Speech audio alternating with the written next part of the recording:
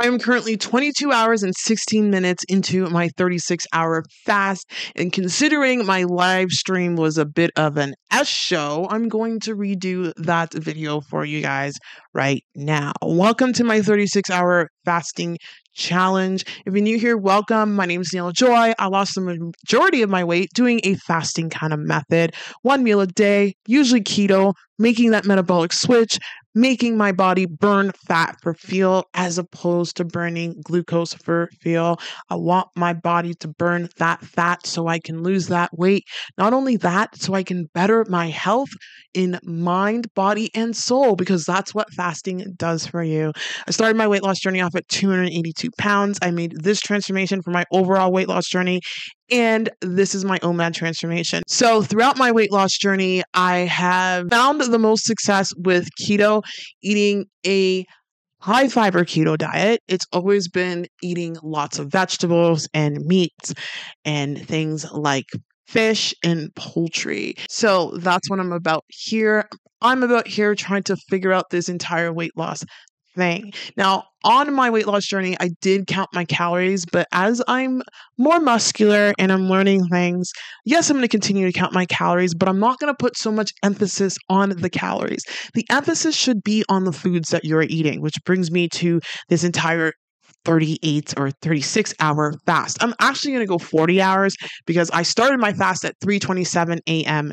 p.m. yesterday. So my fast is going to end at 3:27 a.m you know, in the future, but I'm not going to eat till 7:30. So that's going to be a 40-hour fast. And the reason why I am doing this 40-hour fast is to mainly for my mental health more than anything because when you fast at 36 hours, you produce the neurotransmitter GABA, which has a calming effect. And at 24 hours of fasting, you get stem cells being produced in your gut microbiome, not your gut microbiome, but you get stem cells being produced in your in your intestines, which is key because that's where the gut microbiome comes to play because when you fast, you start off, starve off toxic bacteria, bacteria that will not serve you and when you do that, you're going to balance out your cravings because guess what?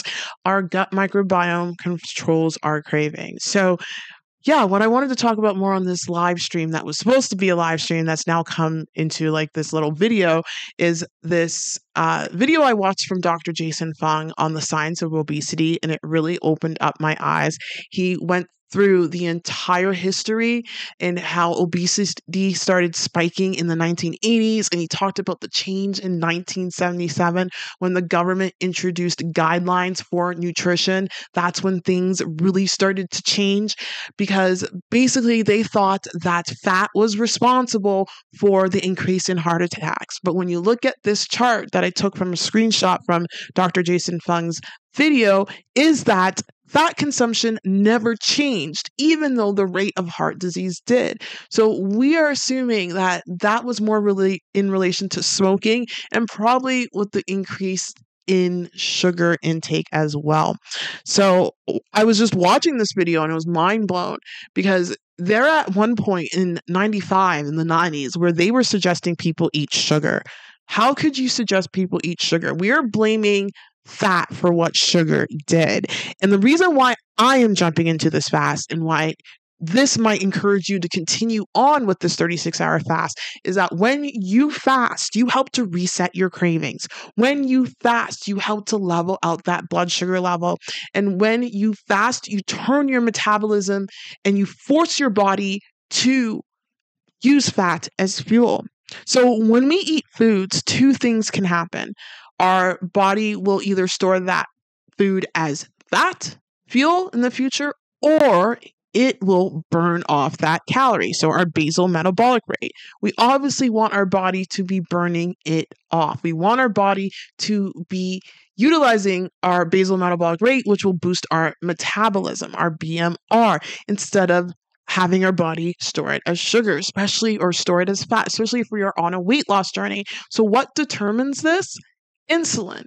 when we eat foods that spike our insulin levels to a point that is higher than the amount of insulin that's needed, guess what our body's going to do? It's going to force our body to store it as fat. And these foods are refined carbohydrates. We want to focus on eating foods that will not do this. So it's as simple. Like nutrition should not be complicated, but it has gotten so complicated throughout the years because of interest involved, money involved, certain people wanting to push their products, you know, cereals, eat cereal, it's good for you. Look at the freaking food pyramid. They tell us to eat 6 to 11 servings of white bread, grains, and cereal.